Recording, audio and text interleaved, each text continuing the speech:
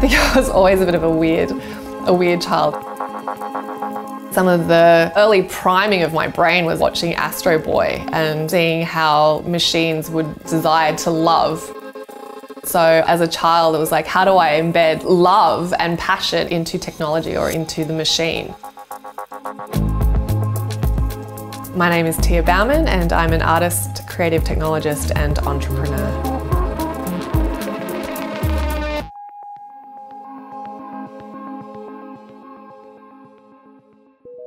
The company I founded is Metaverse Makeovers. It's a glam tech brand and we design augmented reality social mobile products for the digital generation.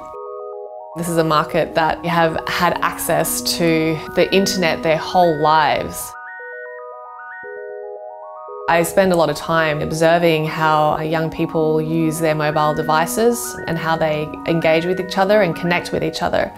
How can I further augment that with the latest virtual technologies?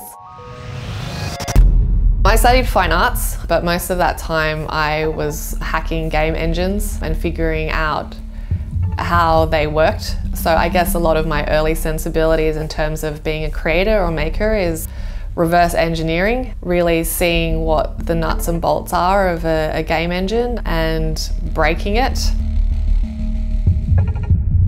Machinima is a type of media practice where you can use game engines to construct like visual narratives or stories with characters from the games. I would clone myself as a computer game character into these virtual environments that I built with the game engine, document the fly through and then that would be its own work. Metaverse Makeovers was really inspired by cyberpunk narratives of what the future could look like. And so for me, it was really about, well, I want the future to look like that, but now.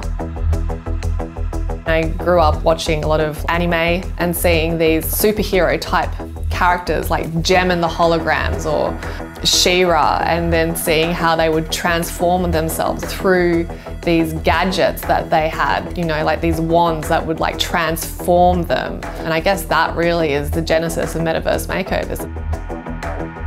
Metaverse Nails is the first product that we've released. They are these fashion accessories that you wear on your nails and when you scan them with our app technologies, it triggers virtual content to fly out of your nails. And then you can share this experience to social media. I thought there was a potential there for creating a new wearable content distribution platform. What would a wearable gaming platform look like? So the fashion nails was like a first conduit into this hologram brand. One of the first iterations of Metaverse Nails was an interactive art experience built around these QR code style nail decals. So it was a very early prototype.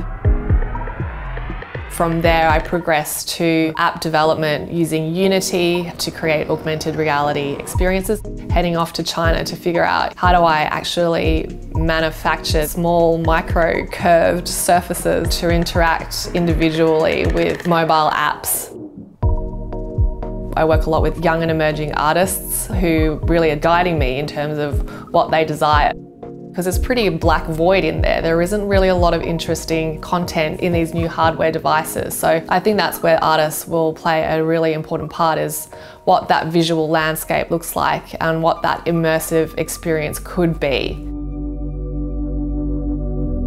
There will be more of a convergence in my mind between fashion, gaming and wearable tech.